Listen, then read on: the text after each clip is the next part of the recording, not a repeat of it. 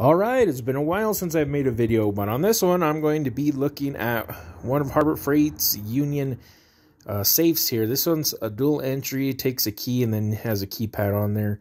This is an electronic uh, safe. So, uh, on this thing, the item number on it is 62978. 62978, that's your item number right there. And this right here is your dimensions. Uh, it's decent. So, first things first, you get the manual, you get two keys, some batteries. That's pretty cool. I thought I was going to have to buy batteries, so I'm going to go ahead and take all this stuff out, and we'll see what it looks like. So, after flipping it and taking it out of the box, I noticed there's some holes here, and they're already pre-drilled.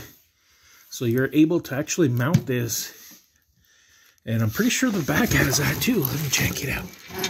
Yeah, it does. Oh, that's cool. So you can actually mount this safe in a lot of places. Save your keys and gives you a couple of warnings there. Yeah, make sure you set all the codes correctly for sure because if you lock the keys in there and you don't get the code right, you're going to be screwed. All right, so this thing won't open. So yeah, I'm going to have to use the key here. I still got to figure out how I'm going to put the batteries. So, I'm going to turn that. I don't think it gets any batteries. Nope. So,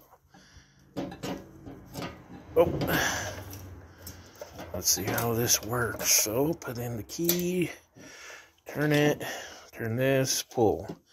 There we go. What comes in here? We got, we got a treasure. Let's see. nope. Some felt.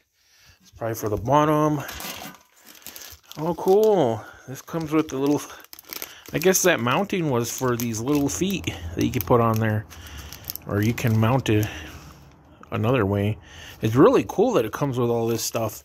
Also, a desiccant.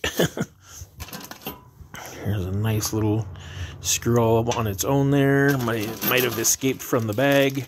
There might be another one in there. I don't know. I'll have to fish that out later. But Check that out. So you can mount that onto the wall. Or not on the wall, concrete. Oh, wow. Oh, that's pretty cool. So you can mount this to the floor or something. Or, I don't know, some someplace on concrete. Um, I think I'll put that little felt in there. Just to have like a little buffer. Oh, check it out. So there's that little cut slot there. And I think that's what goes right here.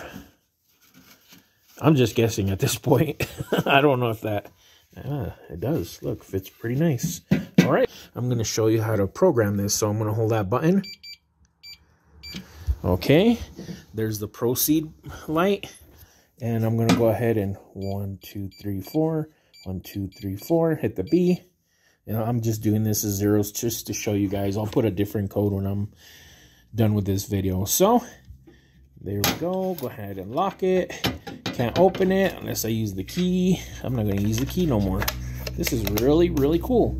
So, one, two, three, four. One, two, three, four. B. There we go. Ready to open it. Yeah, that is nice. This is cool. Plus, Harbor Freight makes the ow. So Harbor Freight makes the really big ones, and they make they make a whole bunch of them. When you unbox it, you actually get the little diagram with the actual um, mounting there. So you get all these mounting holes that line up for the front and the back. So if you wanted to use this as a template, let's say you were going to mount this somewhere, all you'd have to do is just use this paper. You can, you know, punch right through it or use it, you know, to drill right, to drill your holes and stuff. So this is pretty cool. I mean, I'm going to put all my goodies, all my treasures and stuff in this thing. And I don't know if I'm going to put the feet. I think I'll do is I'll I'll mount this thing. I'll mount this sucker somewhere. Probably not to the concrete, but I'll mount it somewhere. This thing. But anyways, I think I'll go ahead and end this video here. I want to thank you guys for watching my videos. And uh, hopefully I'll have a new one here pretty soon for you guys. So see you guys on the next one.